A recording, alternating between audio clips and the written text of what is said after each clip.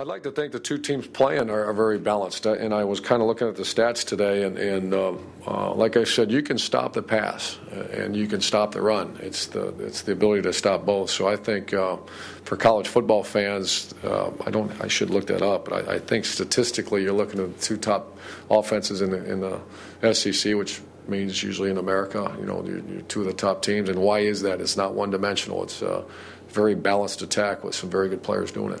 I, I give a we call it a state of union with our players because they're going to hear from the media, and I told our players that this will be one of the greatest experiences you've ever had as a college football player.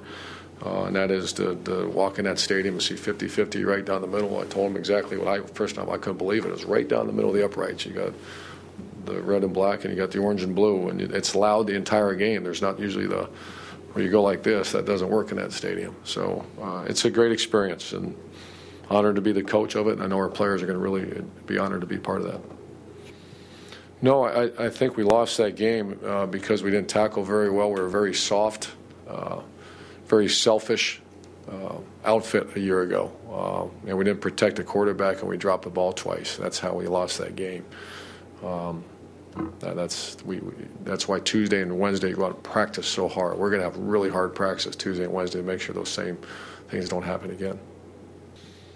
Oh, I, have not seen them all, but he's uh, the Scott guy from uh, LSU. We thought he was very good, but I'd have to give the edge to uh, Knowshon.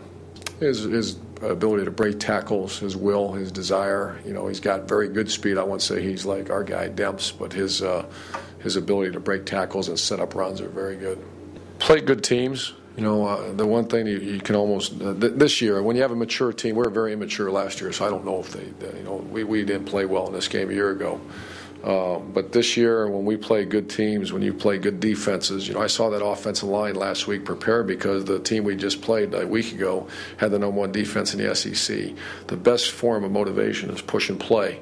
Uh, it's not, you know, it's not rah rah and, and like I said, what color pants are wearing and what color, what do we put on the TVs? I think that's all interesting stuff and it, it, it serves a purpose. The best motivation is playing a good team, and you better get your mind right if you want to win that game.